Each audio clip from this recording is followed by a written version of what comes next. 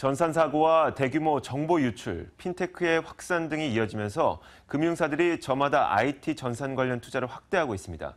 그런데 일부 회사들은 반대의 행보를 보이고 있었습니다. 최보윤 기자입니다.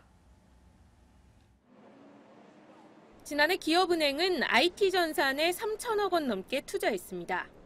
특히 지난 3년간 IT 예산이 1천억 원 넘게 늘었는데 새로운 시스템 개발과 구축에 따른 겁니다. IT에 이제 대규모 투자를 통해서 좀 더 안전하고 편리한 시스템을 제공하는 거는 그 기업의 경쟁력을 높이는 가장 중요한 팩터가 아닐까. 은행들은 해마다 인건비 다음으로 가장 많은 예산을 IT 부문에 쏟아붓습니다. 전산 운영과 정보 보호 등에 연간 수백에서 수천억 원이 들어가는데 5년에서 길게는 10년에 한 번씩 대규모 시스템 교체도 필요합니다.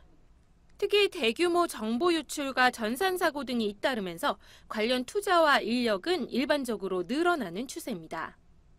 자칫 대형 사고로 이어질 수 있는 전산 사고를 사전에 예방하고 급변하는 금융 환경에 선제적으로 대응하자는 차원입니다. 그런데 반대 행보를 보이는 금융사들도 있습니다.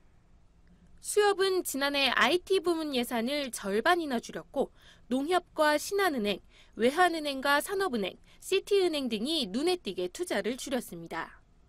간편결제 등 핀테크 시장 확대로 IT 부문 투자를 집중적으로 늘려가고 있는 카드사들 역시 삼성카드 등을 중심으로 대부분 예산이 늘었으나 신한과 현대, BC카드는 거꾸로 IT 부문 예산을 줄였습니다. 예산을 줄이면서 인력은 늘린 회사도 있어 IT 관리에 대한 인식이 여전히 낙제점 수준이라는 지적도 나옵니다.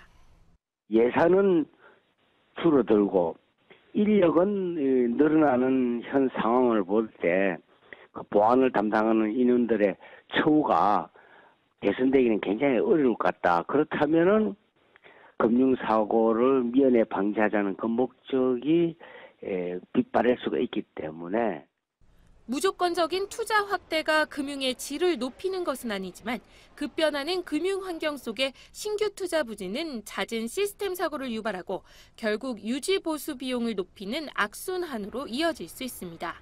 머니투데이 방송 최보윤입니다.